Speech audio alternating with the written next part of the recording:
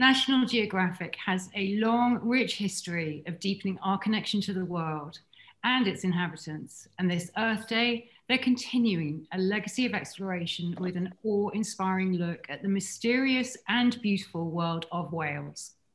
Premiering on Disney Plus April 22nd, the four part special Secrets of the Whales chronicles the whale way of life and their challenges and triumphs in an ever changing ocean narrated by the amazing Sigourney Weaver, it's a profoundly personal saga, venturing deep into the world of whales to reveal life and love from their perspective.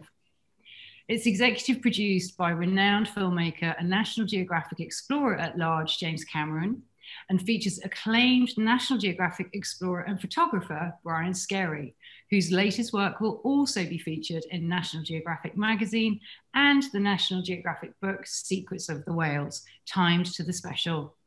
And we're incredibly fortunate to have both of them joining us. But before we get started, let's take a quick look at Secrets of the Whales.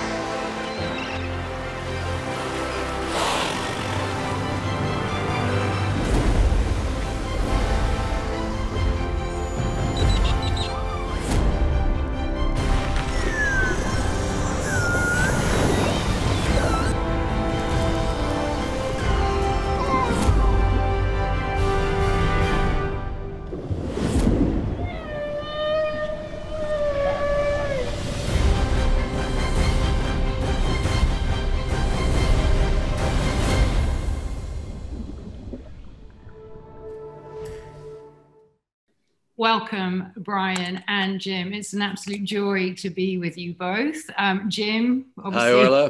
Hello. Hello, hello Brian. Hey.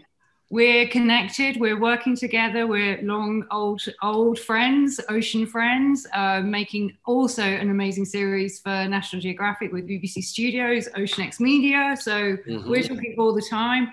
Brian, it is a joy to finally meet you. I've been tracking your work for a very long time and being inspired by it in my own work. So this is for me a really, really fabulous um, moment. Okay, so going out to film personal stories about whales, that's high risk, high stakes storytelling because it's for real. This isn't in the studio, this is out there in the wilds of the ocean. So I really want to know, and I think everyone wants to know from both of you Brian, we're going to start with you. Mm. Why? Why take on the challenge of this project? What was it that, it, I mean, it's over daunting, but it obviously won your heart? Yeah, I would say the inspiration for this project really came about for a few reasons, but primarily, you know, I love working with whales and, and dolphins in the ocean. I think they're some of the more engaging species. But for me, over the last decade, I was sort of looking for a way to do a multi-species project where I could um, in, involve ultimate, ultimately various species of whales. And the trick was, how would I connect the dots? You know, how do I show connections between them? And after speaking to a number of uh, scientists and reading scientific papers, I settled on this notion of culture with whales. The fact that within genetically identical species, whales are doing things differently, much like humans. They have parenting techniques, they have unique food preferences, they have singing competitions, um, they, they have dialects and isolate themselves by dialects, like the neighborhoods of New York, perhaps in the turn of the century. So, using that, that lens of culture, I thought that maybe we could get people to see the ocean differently. Um, it overtly isn't about conservation, but my hope was that it could have that dividend, that people would come to see these families, these personalities that have empathy and love and do things much like we do. You're right in the sense that, um, you know, the good news was you get to go and do it. And, and then the, the reality sets in and you realize that if you did a Venn diagram of all the things that have to line up to, to tell this story, um, you, you would never probably do it. But, but that was sort of the, the, the genesis of, of this, this project, Secrets of the Whales. And Jim, you are a very, very, very busy man. What what was it for you? Why did you need to carve out the time to get involved with this? I think it's a subject matter. I mean, I, I, certainly, you know, knew knew Brian through National Geographic. They brought this to our attention that he had he had brought up this idea of talking about whale culture and and showed the research and showed the science and said it's there. We just have to go photograph it and it's going to take a long time to do it and it's going to be arduous and all the things that that Brian you know raises his hand to go and to go and do but it's it, it was the subject that we could in some way illuminate you know how these amazing animals that we all you know kind of love and respect but we don't really know that much uh, about how they interact what their society is like what their minds are like Mm-hmm. And it takes a lot of very careful observation to do that. And National Geographic is willing to, to fund this three year expedition. And I want to be very clear up front. You know, Brian does the work. He's the one that's out there front line. I've done front line on my own on my own stuff, but in a way, the things that I've done have been a couple of months at sea to go film Titanic or the Bismarck or the geothermal vents or the some of the deep Hadal trenches. They're always there. You know, it's like a, it's like an appointment. They're not going to break. Uh, you know, we still have the adversity of the ocean as an environment with, you know, tides and winds and weather and all those things that, but, you know, Brian also has the, the fact that they don't necessarily know where the whales are going to be. So when they get a shot, every time they get a shot, and the shots are, are gorgeous, they're, they're, they're beautiful, um, it's in spite of it's not because of your effort to go out there and your your will to make this thing. It's a gift from the ocean. Every one of those shots is a gift from the ocean that the elements lined up, the conditions lined up, the animals showed up. And of course, it takes tremendous research, and Brian can speak to that much better than I can. Tremendous research to get anything done in the ocean.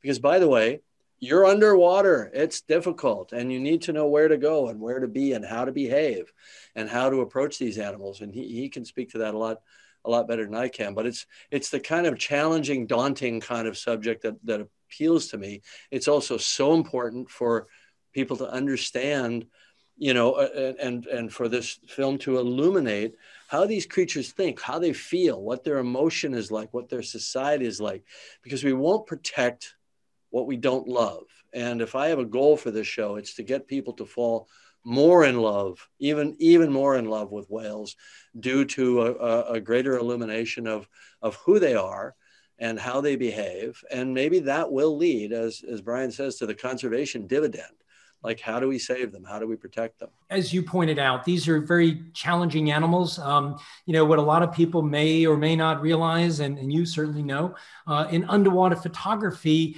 we don't have the luxury that our terrestrial counterparts do. I can't sit in a camouflage blind with a 600 millimeter lens and wait for a month for some elusive animal to wander by. We have to get in the water and we can only stay underwater as long as the air supply in our back will last. That if it's a scuba tank, that's in maybe an hour. But with whales, you're not using scuba. In most cases, you're free diving. So you have to get in the water. You have to get close to these animals. They have to allow you into their world. And you have to do it in, in a minute or two to get the shot. You don't sneak up on a on a cetacean. It knows you're there even before you've gotten out of the boat. You right. know, with its echolocation, with its acoustic sensors yeah. and so on. They not only can see you coming a mile away, they can oh. see inside your body. Some of them, you That's know, right. so they probably know more about you than than you do. So it's all about it's all about gaining their trust, or at, at least. Um, you know, not being threatening in some way. And I'm still astonished at the number of encounters you had with orcas and how scary those things must be coming out of that murky water sometimes, all grinning yeah. teeth like that and and uh, you know you're doing that on like you said on on breath hold dives. Yeah. That must be to talk about that's crazy well thanks and you make a good point. In fact in in uh, our book that you wrote the foreword for secrets of the whales um, i talk about in the norwegian arctic being with orca there and i describe it as being scanned by a supercomputer that that they probably know what I had for dinner last night. They know if I'm sick, if I'm feeling well.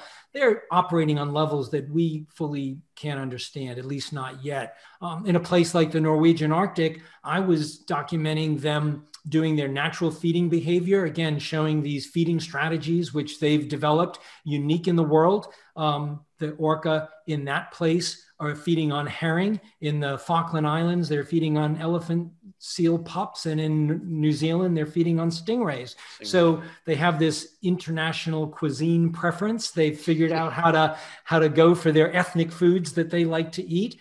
Um, but it's extraordinary to see them work. They're communicating, you know, in the in the Norwegian Arctic, we're, we're up there at the polar night around the time that the polar night begins. So light levels are extremely low. The sun never gets above the mountain peaks. It's very cold. We're diving in, you know, very, very cold water with heavy wetsuits free diving down sometimes 40 feet, 50 feet, um, and trying to get into that world where they're working cooperatively to create bait balls of herring and then tearing through, slapping the fish with their tail to stun them, and then going in and picking them off one at a time. Conversely, more commonly these days, I, I first experienced that in the Norwegian Arctic back in 1994 when that's all they were doing. More often these days, they're hanging out next to commercial fishing boats where they can get a free meal. I, I, call it takeout food. They don't have to expend the energy to make dinner. They can just hang out next to one of these commercial boats, and and as they're bringing back a net full of herring, they're falling out and they're they're getting an easy meal. But when you're down there, you know, it's one thing when I'm free diving, snorkeling up on the surface. The one uh, rare example where I did put on a tank and went down about 30 feet. All of a sudden, their behavior changes very much. Mm-hmm. Now you're on their level and they see you perhaps as a competitor. No, no mm-hmm. threats. I didn't get any threat, but it was clear that you know that fish was theirs. Don't even think about going in to get them. Uh, we, we actually do have um, a clip. I don't know, Orla, if we want to get to it now or a little bit later, but in New Zealand, I, I had an extraordinary experience with orca that were feeding on stingrays. So um, I can I can talk a little bit about that, or we can do it later, I guess, depending. Oh, Brian, yeah, go okay. on Orca, go for it. yeah, all right. Well, I was working with Ingrid Visser in New Zealand, who is a, an orca scientist, PhD, studies them there. And what she has found out is that these orca will, will move into shallow mangroves and harbors very, very shallow water to the point where you would think they couldn't even physically fit their bodies into the shallow water and they love to eat stingrays. So they will go in, they will pick up a stingray, they will flip it upside down, doing this tonic immobility where it sort of goes to sleep, and then go about predating on it, eating it. Well, I jumped in the water this one day, was swimming towards a, an adult female that had one of these stingrays. She was beginning to eat it, but then dropped it on the seafloor where I was swimming. So I went down, I, I knelt down on the on the seafloor right next to the stingray. She comes around behind my back. I can see this massive, you know, black and white orca coming around uh, uh, to, to get in front of me. And then she just pauses and she looks at the ray, looks at me, looks at the ray, looks at me as if to say, are you going to eat it? You know, the, in in the film, Sigourney says, you know, it's as if she was um, thinking that I was a skinny orca that needed to be fed. Perhaps mom sees him as an underfed orca who needs to put on some weight. She then, you know, very gently picks it up and sort of pauses for a moment. I was able to get a frame of that, and then she goes off and and we actually have food sharing. It's not in this particular clip, but with a drone, we were able to get this footage of her with members of her family um, food sharing. And again, these are matrilineal societies. They're led by the older, wiser females of the group that have figured out these techniques. They're the only ones in the world who do it. You know, the ones in Patagonia that are feeding on, on uh, sea lion pups on the beach, they're the only ones in the world that do that strategy. So, very, very high degree of cognition, but it is their culture, it's what they do. The thing is, the whales have been out there for a very, very, very, very, very long time, and the ocean has been there for a very long time to support them. They've built these cultures, they've designed these lifestyles, they're tribal, they do their thing in their patch of ocean. Mm. What we know and what the world is really beginning to get to grips with is their world is changing, and it's changing potentially faster than they can manage to keep up with. So, in all of your encounters, in all of the storytelling that you've done through this project, what do you think is a the most telling moment that really gets across this world is changing Did, mm-hmm. Was there something that you saw that you experienced for yourself? Jim, was there something you observed when you were watching it, when you were going through the cuts?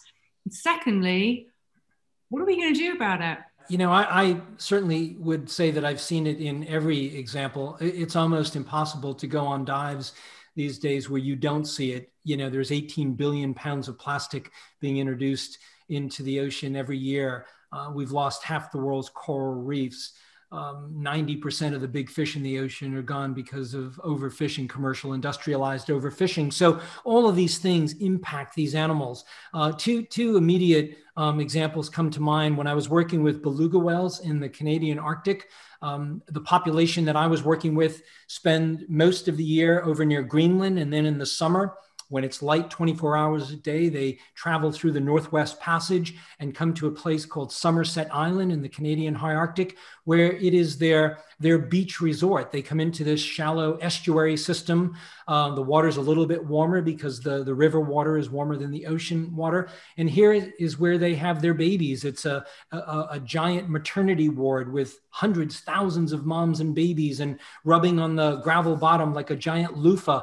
But this world is changing rapidly. That, that Northwest Passage is opening up. Uh, Jim certainly knows this very well. Ship traffic is increasing. These are acoustic animals that have for so long, for eons, been essentially in their silent world up there, you know, not totally silent, but not ship traffic that is changing rapidly and the impacts will be highly damaging and detrimental to those animals. We saw it one day, uh, a ship was out in the Northwest Passage and deployed two small little tender boats that came into this region that we were, we were land based and just two outboard engines made 700 beluga whales stampede out of that estuary and they didn't come back for about a week.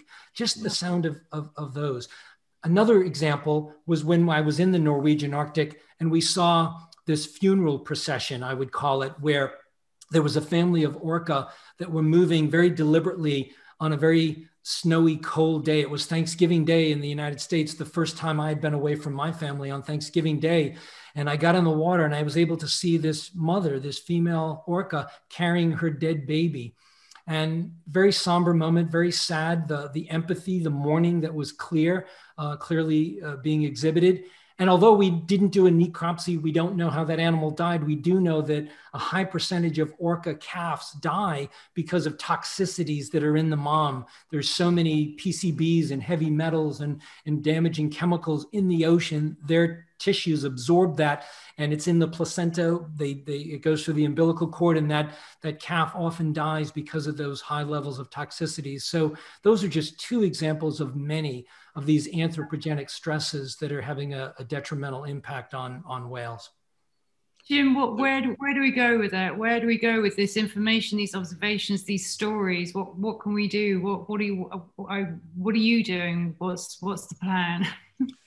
Well, you know, as Brian was going through it, I was listing in my head all of the different stressors that we create for these these animals. You know, the fact that they're predators, so all the toxins that we release into the ocean bioconcentrate up the food chain, and so they concentrate in the fish and so on. And uh, it's inescapable that they're they're being poisoned by us, that they're being uh, uh, deafened by us, or their their behaviors, all of their their feeding strategies and mating strategies and reproductive strategies are being are, are being dismantled by all of this noise from shipping channels and military sonars and all that and there there are mass strandings and all these things. It, it's just the inevitable effect of the collision of human technical civilization with the oceans. And you know it's something that we it, it's it's not going to just go away. They're going to continue continue to decline. The right whales are down to about hmm. 300 um, members of the hmm. species so they're at the brink of extinction and we barely understand these these animals. So I think we have to, as a society, we have to think about doing it better. Um, what does that mean? I think you know one of the things that that is the one of the greatest stresses on the ocean is really something that people dry on dry land, thousands of miles from the ocean, can change. Which is, and I I know you're going to roll your eyes when I bring this up, but if we just didn't eat meat and dairy, we could cut our agricultural footprint to about one tenth of what it is right now, and we're constantly using the oceans as a as a dumping ground or a toilet, really, mm-hmm. for our agricultural runoff, which has created over 400 dead zones. It disrupts the entire food chain in the ocean. It's affecting primary production in the ocean, which then affects the krill, which then affects the the uh, the herring and the other uh, fish that the, the big whales feed on, and so on. So, just how we behave, just how we have our overall footprint as a civilization and as individuals on the planet.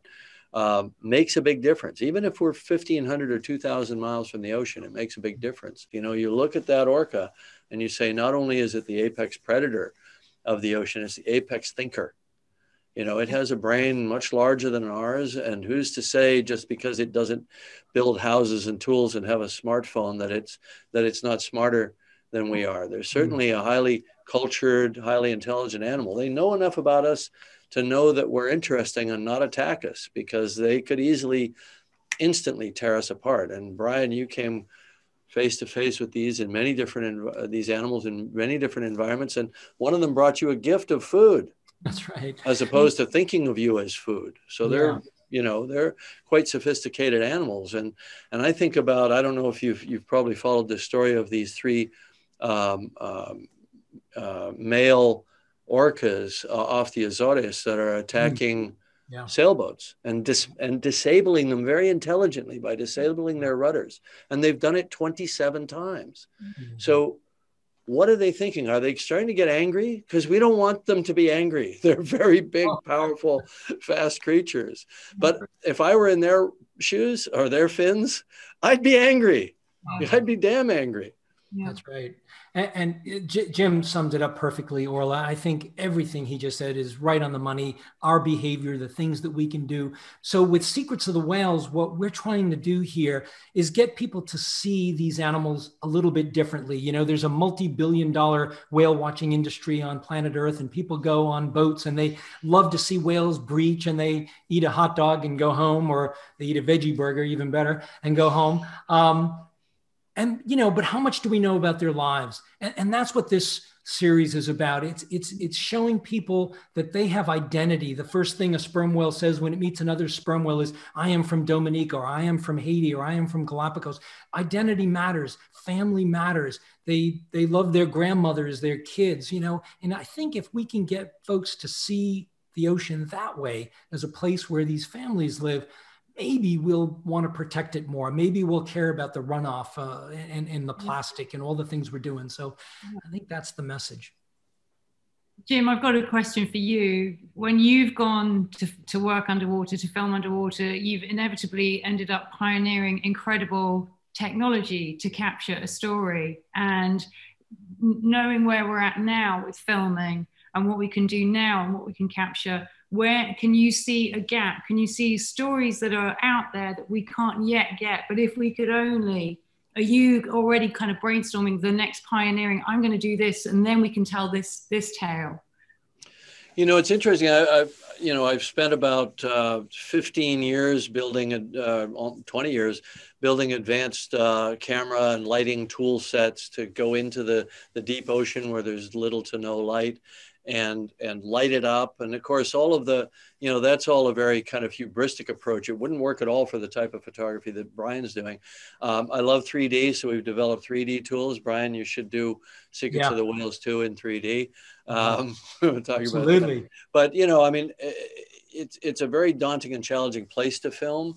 Um, and I, I can imagine um, a set of tools that might be used for the type of uh, natural history work that Brian does that are more sensitive cameras, less intrusive, extremely quiet systems, maybe very quiet vehicles that use anechoic coatings and things like that so that the, they're less intrusive and, and don't change the behavior of the, the animals that you're studying. But, you know, I've, I've shifted a little bit my, my focus from the, the imagining how we can tell stories better and explore better to imagining how we can understand the ocean much more holistically better. And for that i think we have to apply uh, apply artificial intelligence and machine learning uh, to kind of swarm robotics small vehicles that again are, are not intrusive that that spread out and give us the kind of information from the ocean that we get from weather satellites.